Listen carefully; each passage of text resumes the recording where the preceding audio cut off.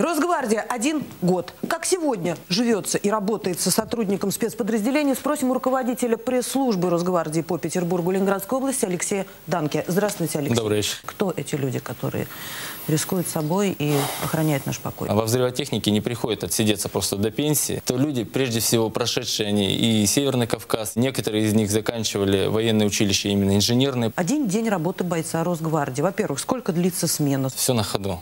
А, Они несут службу в круглосуточном режиме. Естественно, В есть- круглосуточном в режиме. круглосуточном режиме. Последние две недели практически ребята э, не выходили из машины. И спали. Да, спали практически, да не спали они. Насколько увеличилось количество выездов ваших бойцов? Э, В десятки раз, я бы сказал. Если в будние дни, в обычные дни 2-3 выезда взрывотехники осматривали предметы, то сейчас порядка 20. Просто примеры а, приведите, что беспокоило петербуржцев. Были достаточно курьезные, может быть, выезды.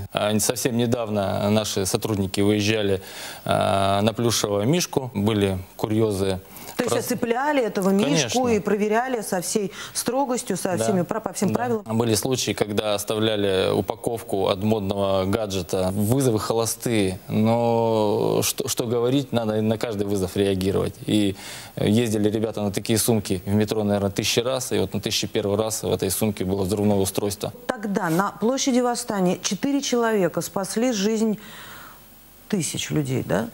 Они советовались с кем-то, когда принимали это решение? Или там шел счет на секунды? Не было возможности советоваться, поэтому в таких вот ситуациях, естественно, никакие средства связи не применяются. Они четко знали, что это за взрывное устройство, как оно устроено, и это им позволило принять грамотное решение. По каким фронтам еще увеличилась нагрузка на Росгвардию? По всем направлениям в полной мере работают и сотрудники СОБРа «Гранит». Э, Сейчас очень активно их задействуют. Они что делают?